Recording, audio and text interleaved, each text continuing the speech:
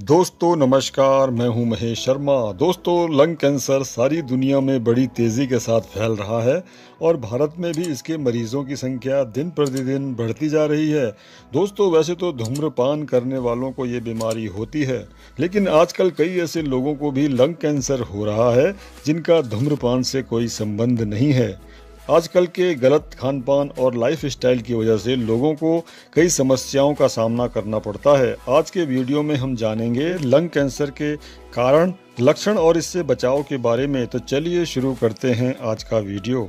दोस्तों, ये एक ऐसी बीमारी है जिसका शुरू में पता नहीं चलता है और ये धीरे धीरे व्यक्ति को अपनी चपेट में लेती रहती है और बाद में इस बीमारी को रोकना असंभव हो जाता है। दोस्तों, धूम्रपान करने वालों को इस बीमारी का खतरा सबसे ज़्यादा होता है, लेकिन अन्य प्रकार के नशीले पदार्थ जैसे गुटखा, तंबाकू आदि का सेवन भी इस बीमारी को बढ़ावा देता है।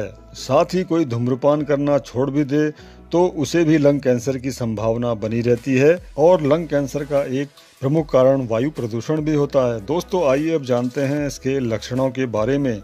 दोस्तों, इसका सबसे बड़ा लक्षण है लगातार होने वाली खांसी। अगर आपको लगातार तीन हफ़्ते से ज़्यादा खांसी बनी रहती है तो इसे इग्नोर ना करें और तुरंत ही डॉक्टर से संपर्क करें।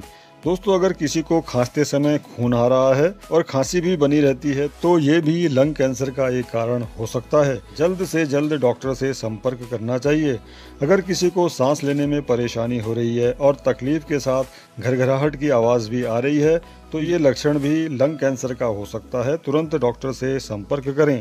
अगर आप डाइटिंग नहीं कर रहे हैं और तब भी आपका वज़न तेज़ी से कम हो रहा है और भूख भी कम लग रही है थकान भी बनी रहती है तो ये भी लंग कैंसर का लक्षण हो सकता है। तुरंत ही डॉक्टर से संपर्क करें।